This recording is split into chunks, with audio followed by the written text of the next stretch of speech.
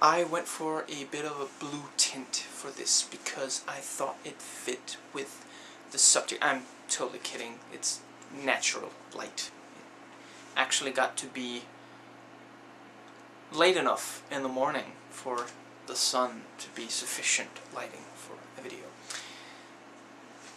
I recently it, my father pointed out something to me that I hadn't really thought of about economy recently.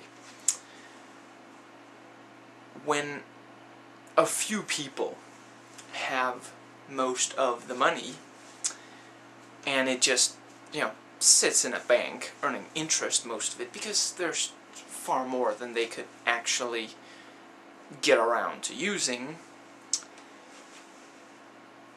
then, you know, it does not benefit the economy as much as if far more people had at least some more money and they were out there spending it, you know. If people don't have enough money to spend, then, you know, the economy suffers. Because that's part of what keeps the economy going. You know, it, it, encourages the stores to order some more stuff from the factories, and thus the factories will produce some more. And I'm not going to go into the whole, you know, cycle there, because either you know it or someone else can explain it much, much better.